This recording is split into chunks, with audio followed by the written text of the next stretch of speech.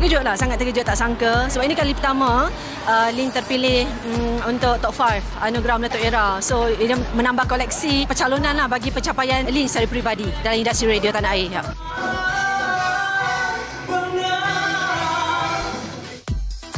Saya rasa uh, rasa bersalah lah. Ah, saya saya saya saya rasa risau lah. kan untuk saya bagus ada pencalonan-pencalonan baru ni sebab ia dapat memberi satu saingan yang baru. Lin mengharapkan agar ada kemanisan uh, pada malam Anugerah Meletup Era 2017 ini um, untuk kedua-dua kategori especially penyampai radio meletup dan juga program radio meletup. Sama-sama kita nantikan. Doakan Lin dan jangan lupa mengundi. Surya, segalanya hiburan untuk anda.